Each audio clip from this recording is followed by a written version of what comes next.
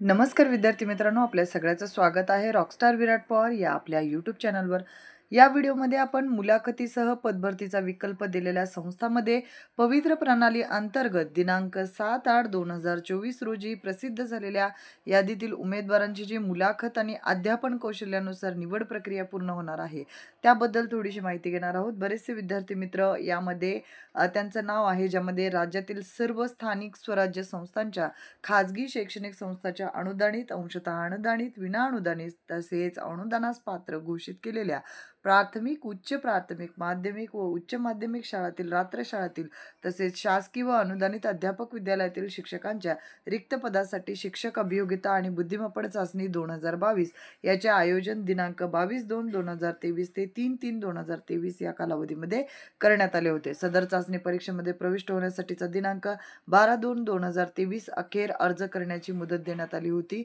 आणि यामध्ये सदर चाचणी परीक्षा दिलेल्या उमेदवारांनी तीस नऊ दोन हजार तेवीस पर्यंत स्वप्रमाणपत्र तयार करण्यात आले आणि संच मान्यता दोन हजार बावीस तेवीसनुसार मंजूर पदांच्या आधारे राज्यातील बिंदू नामावलीची तपासणी करून ऐंशी टक्के पद भरण्यास परवानगी असल्यामुळे दिनांक सोळा दहा दोन हजार तेवीस ते बावीस एक दोन हजार चोवीस या कालावधीमध्ये शैक्षणिक संस्थांना पोर्टलवर जाहिरात देण्याची सुविधा देण्यात आली होती आणि यामधून शिक्षण सेवकांची रिक्त पदे भरण्यासाठी पोर्टलवर जाहिरात दिलेली आहे. आता यामध्ये शिक्षण सेवकाची जी प रिक्त पदे आहेत त्यामध्ये संस्थेची जाहिराती त्यातील आरक्षण समांतर आरक्षण अध्यापनाचा गट त्यानंतर विषय जो विषयाचा त्यांची निवड केलेली आहे त्याच्यानंतर शिकवण्याचे माध्यम त्याच्यानंतर उमेदवारांनी दिलेले प्राधान्यक्रम या सर्व बाबींचा विचार करून गुणवत्ता यादी प्रसिद्ध करण्यात आलेली आहे ज्यामध्ये मुलाखत व अध्यापन कौशल्यासाठी एकाच दहा या मर्यादेमध्ये सामाजिक व समांतर आरक्षण उपलब्धतेनुसार उमेदवार उपलब्ध करून देण्यात आले आहेत. शासन निर्णय दिनांक सात दोन दोन हजार एकोणीसमध्येच नमूद केले प्रमाणे मुलाखत व अध्यापन कौशल्यासाठी एकूण तीस गुण आहेत. यासाठी शासनपत्र दिनांक सहा आठ दोन हजार चोवीस अन्वये निवड प्रक्रियेतील पारदर्शकता व एकसूत्रीपणा राहण्यासाठी स्टँडर्ड ऑपरेटिंग प्रोसिजर म्हणजेच एस ओ पी याची निवड निश्चित करण्यात आलेली आहे. सदर मार्गदर्शक कार्यपद्धतीचा अवलंब करून शिक्षक पदभरतीची कार्यवाही पूर्ण करायचे जेणेकरून शिक्षक पदभरती पारदर्शी व निपक्षपातीपणे पार पडेल. उमेदवारांची अंतिम निवड तीस गुणांच्या आधारे होणार आहे. गुणानुक्रमे आरक्षण व विषय विचारात घेऊन होणार आहे. पवित्र पोर्टलवर वेळोवेळी देण्यात आलेल्या सूचना शैक्षणिक संस्थांसाठी मार्गदर्शक सूचना व स्टँडर्ड ऑपरेटिंग प्रोसिजर म्हणजेच एस ओ पी या सर्वांचं पालन करून शिक्षक पदभरती मर्यादित काल मध्ये विहित पद्धतीने पार पाडायची आहे. आता महत्त्वाचं आहे तीस गुणांची जी शिक्षकाची निवड आहे त्यामध्ये स्टँडर्ड एस ओ पी पद्धती निवड केली आहे. आणि यामध्ये घटक कोणते कोणते घेतलेत याविषयी आपण माहिती घेऊया. यामध्ये जे आरचा पण संदर्भ दिला आहे तीस गुणांची घटकनिहाय विगतवारी संदर्भात मानांकन पद्धती निर्माण केली ज्यामध्ये स्टँडर्ड ऑपरेटिंग प्रोसिजर म्हणजेच एस ओ पी ही प्रोसिजर राबवण्यात आलेली आहे. आणि यामध्ये काही महत्त्वपूर्ण मुद्दे ॲड केलेत. ज्यामध्ये खाजगी संस्थेतील पात्र उमेदवारांची मुलाखतीसह या प्रकारे करता शिक्षक पदासाठी निवड करताना स्टँडर्ड ऑपरेटिंग प्रोसिजरचा वापर करायचा आहे. ज्यामध्ये उमेदवाराचे व्यक्तिमत्व यासाठी पाच गुण ज्यात पदाविषयी असलेली कर्तव्यनिष्ठता पर्यावरणाची जाणीव सामाजिक भान याचा विचार केला जाणार आहे. आता पदाविषयी कर्तव्यनिष्ठता म्हणजेच आदर्श शिक्षकामध्ये असणारे गुणधर्म त्यानंतर विद्यार्थ्यांविषयी असलेले त्यांचे मतप्रवाह मत प्रवाह पर्यावरणाची जाणीवमध्ये आता सध्या चालू असलेले विविध शासनाच्या योजना आहेत. मग त्याविषयी माहिती असणं थोडंसं जास्त गरजेचं आहे. सामाजिक भान यामध्ये बऱ्याचशा गोष्टी जसं की बालमजुरी किंवा मग जे विद्यार्थी शालाबाई आहेत त्यांना शाळेत आणण्यासाठीचे विविध उपक्रम. बऱ्याचशा गोष्टींचा यामध्ये तुम्हाला विचार करावा लागणार आहे. पाच गुणांचा आहे. उमेदवारांचे सामान्य ज्ञान यामध्ये चालू घडामोडीवर आधारित प्रश्न विचारणार आहेत. आणि यामध्ये महाराष्ट्राचा भूगोल किंवा इतिहास म्हणजे भूगोल आणि इतिहास या दोन्हीचा अभ्यास करून जावं लागेल. त्याबरोबर राष्ट्रीय आणि आंतरराष्ट्रीय समस्या इत्यादीबद्दल सुद्धा अभ्यास करावा लागणार आहे. आपण म्हणूया की वर्तमानपत्रातून याचा अभ्यास करावा लागणार. त्यानुसार तुमची तयाची तयारी असणं आवश्यक आहे. उमेदवारांचे विषय ज्ञान एकूण दहा गुणांचं आहे.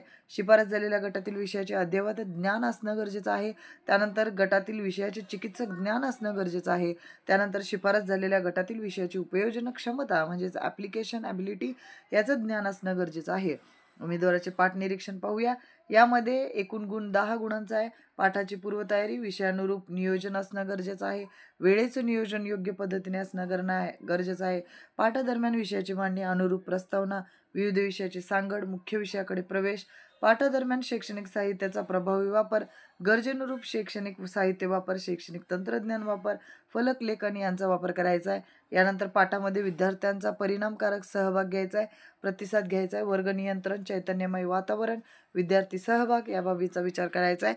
त्याचबरोबर पाठाचे यशस्वी पुनरावलोकन म्हणजेच रिव्ह्यू यामध्ये शेवटी अध्यापन विषयाचे एकत्रीकरण उद्दिष्टनिहाय मूल्यमापन अध्यापनाची परिणामकारकता या गोष्टी पाहिल्या जातील.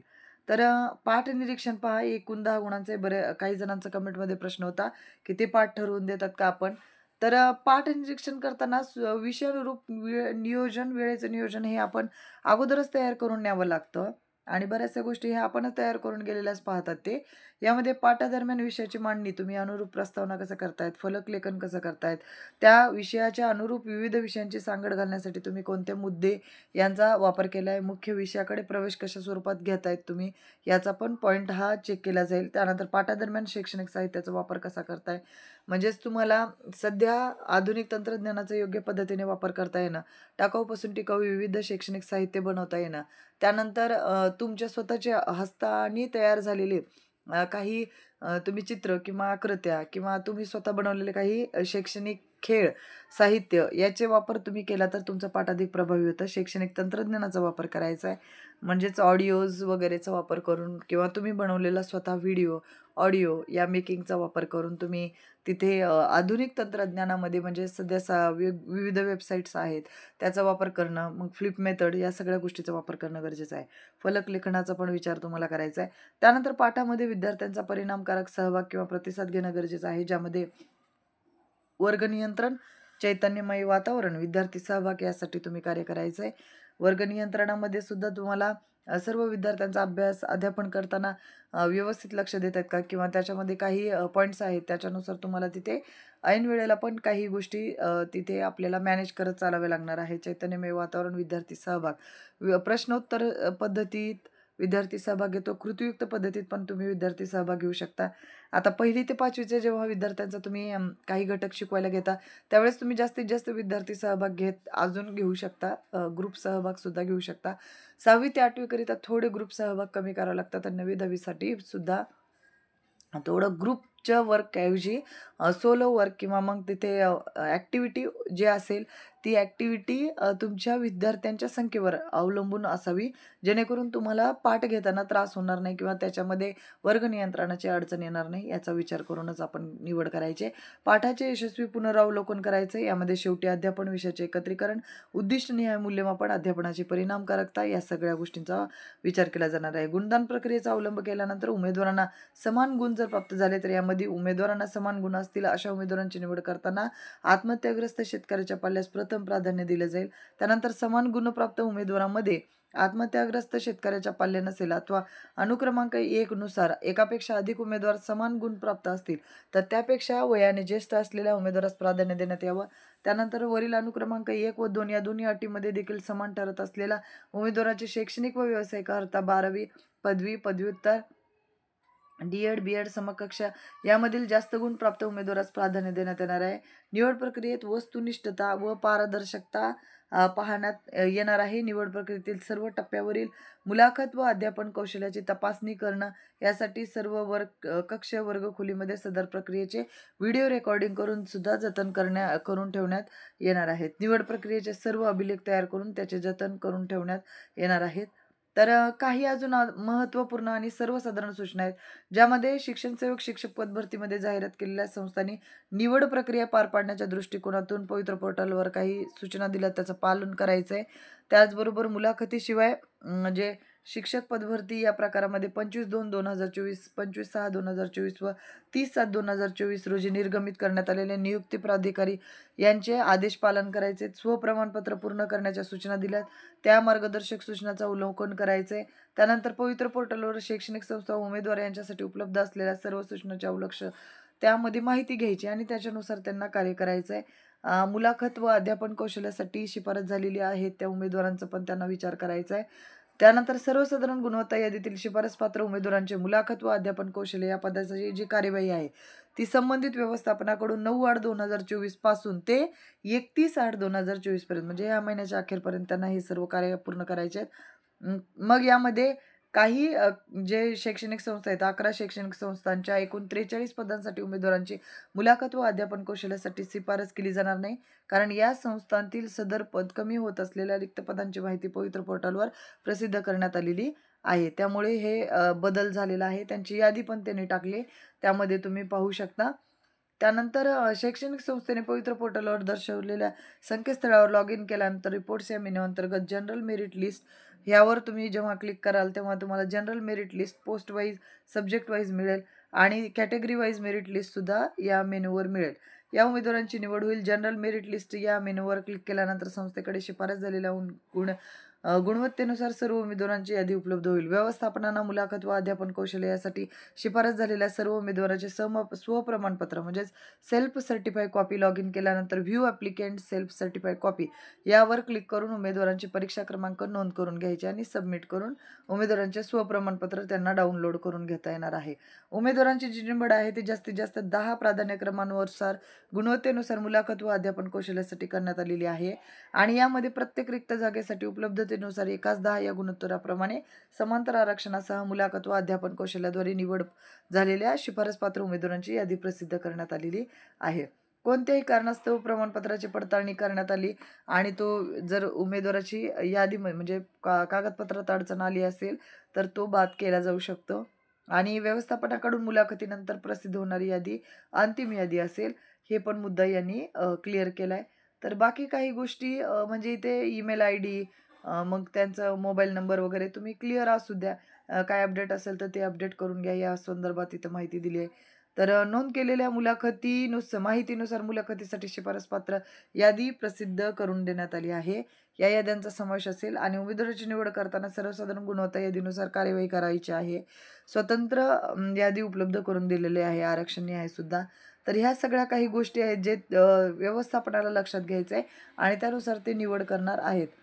आणि मग यामध्ये ज्या उमेदवाराची निवड केलेली आहे अशा उमेदवारांची नियुक्ती सात कार्यालयीन दिवसात संबंधित व्यवस्थापन करणार आहे. निवड केल्यानंतर संबंधित उमेदवाराची नियुक्ती आदेश ईमेलद्वारे ते देणार आहेत. त्याचबरोबर संबंधित शिक्षणाधिकारी प्राथमिक माध्यमिक संबंधित विभागीय शिक्षण संचालक यांच्याकडे पाठवेल.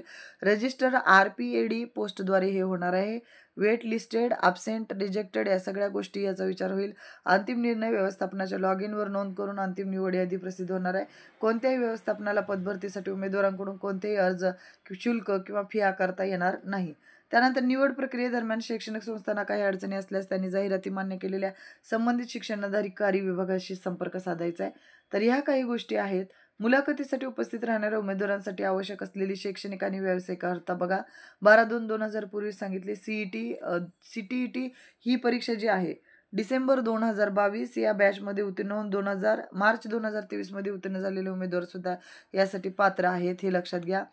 त्यानंतर अकरावी ते बारावी या पदासाठी पदव्युत्तर पदवी किमान द्वितीय श्रेणीत असणं आवश्यक आहे. तसेच माध्यमिक स्तरावरील नववी ते दहावी पदासाठी उमेदवार पदवी स्तरावर किमान श्रेणीत उत्तीर्ण असणं आवश्यक आहे. तर ह्या काही गोष्टी आहेत हे पहा. कारण याच्यामध्ये सुद्धा बऱ्याच जणांचं जर काही म्हणजे हे बसत नसेल स्कोअर तर ते तिथे रिजेक्ट होतात. पहिली ते पाचवी सहावी ते आठवी यासाठी शैक्षणिक आणि व्यावसायिक अर्थ बालकांचा मोफत व शिक्षणाचा अधिकार अधिनियम दोन हजार नऊनुसार आहे. सात दोन दोन हजार एकोणीसमध्ये दिनांकमध्ये काही शुद्धीपत्रकानुसार पहिली ते पाचवीसाठी आता शैक्षणिक अर्हता जी आहे ती पंचेचाळीस टक्के गुण पाहिजेत बारावीच्या परीक्षेमध्ये. आरक्षित प्रवर्गासाठी चाळीस टक्के आणि डी एड असलं आवश्यक आहे. C T E T paper first किंवा T E T paper first आवश्यक आहे.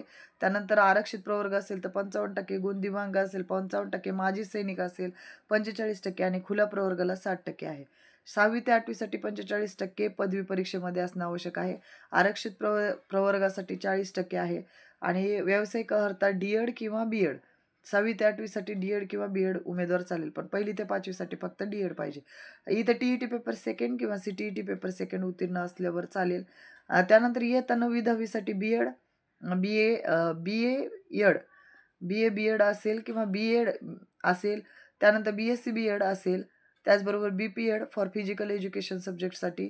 आणि यांना शालांत परीक्षा उच्च माध्यमिक परीक्षा पदवी व्यावसायिक अर्हता ज्या ज्या माध्यमातून शिक्षण घेतले असेल त्या त्या माध्यमासाठीच ते पात्र ठरतील. अकरावी ते बारावीसाठी विषयातील किमान द्वितीय श्रेणीतील पदव्युत्तर पदवी M A M S C M com अशा स्वरूपात आणि बी एड असे विषय आवश्यक आहे. दोन विषय मिळून एक पूर्णवेळ पदाची शैक्षणिक करता इयत्ता अकरावी व बारावी या गटातील दोन विषयासाठी एक पूर्णवेळ पदाची जाहिरात असेल तर जाहिरातीतील दोन्ही विषयासाठी उमेदवार किमान द्वितीय श्रेणीत उत्तीर्ण असणं आवश्यक आहे. नसल्यास असा उमेदवार या दोन विषयातील पदासाठी नियुक्तीस पात्र असणार नाही. हे लक्षात घ्या. त्यानंतर उमेदवारांची वयोमर्यादा नववी ते बारावीसाठी. या पदाची वयोमर्यादा खाजगी शाळा सेवा शर्ती नियमावली अन्वये.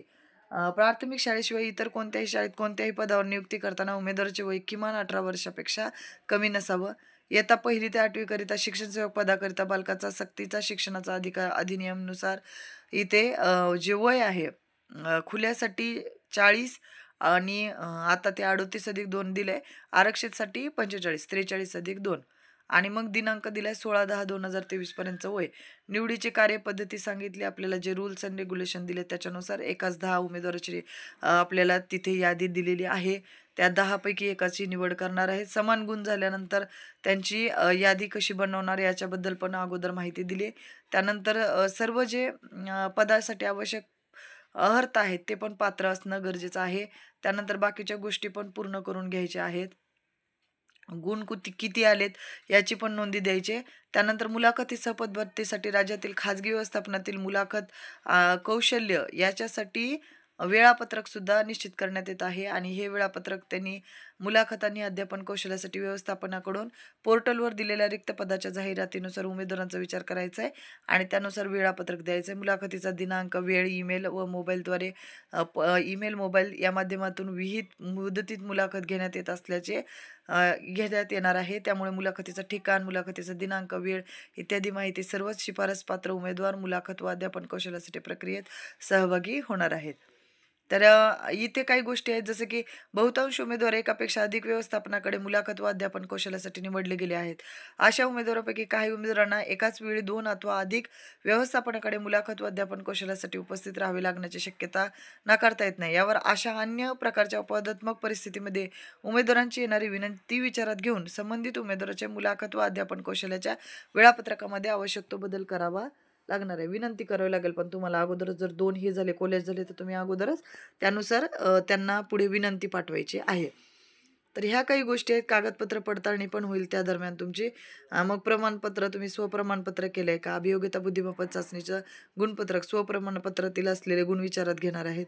शालांत परीक्षा प्रमाणपत्र उच्च माध्यमिक परीक्षा गुणपत्रक आणि प्रमाणपत्र.